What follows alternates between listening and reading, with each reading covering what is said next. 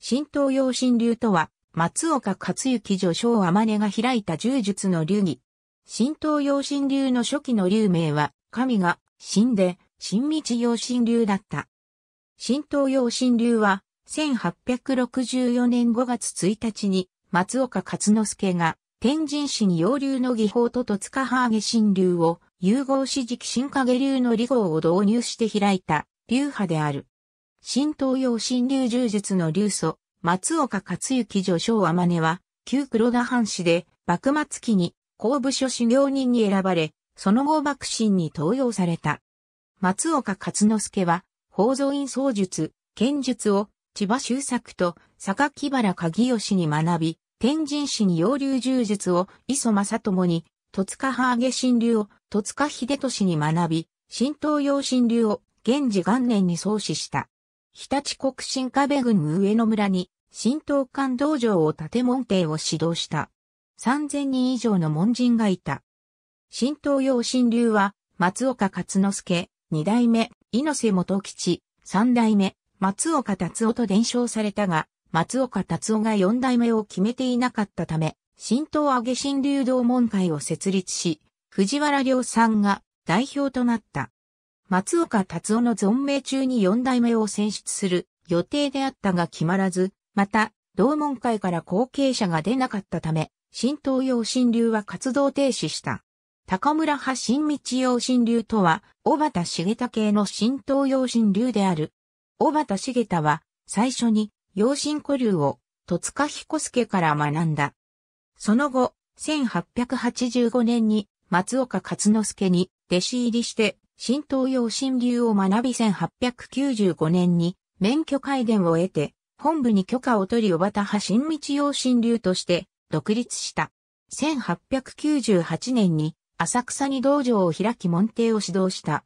小畑派新道洋新流は、小畑の孫である高村幸義が継いだ。高村幸義は終戦後にスウェーデンに移住し、ストックホルムで新道洋新流を教えた。高村は日系アメリカ人と結婚し、アメリカカリフォルニア州に移住、同地で高村派新道洋新流という名称に変えて道場を開いた。高村は2000年3月に72歳で亡くなった。高村から免許改伝を得たのは、大阪府の高木磯、イギリスのデビッド・メイナード、アメリカのトビー・セレットギルの3人である。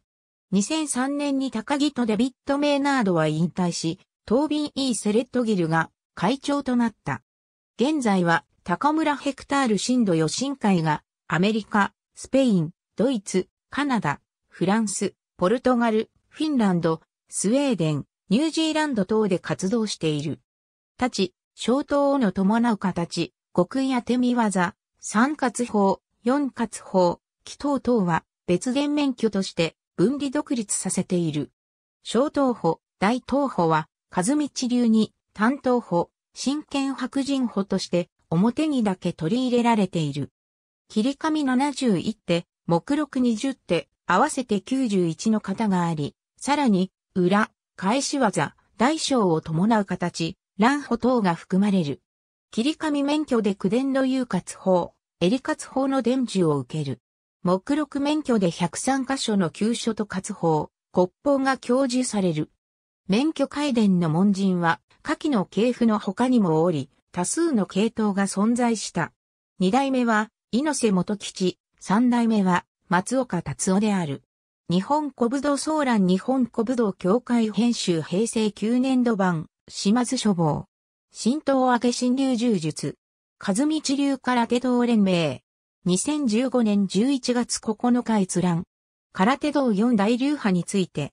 国士舘大学。2015年11月9日閲覧。愛機ニュース121号、近代空手、近代空手、大塚博則の氏、中山達三郎が、新東洋新流に入門した時、すでに二代目、猪瀬元吉から三代目、松岡達夫に代替わりしており、門人帳では、松岡達夫の門弟と書かれている。しかし松岡達夫は、当時まだ若かったため、実質的な代表者は猪瀬元吉だった。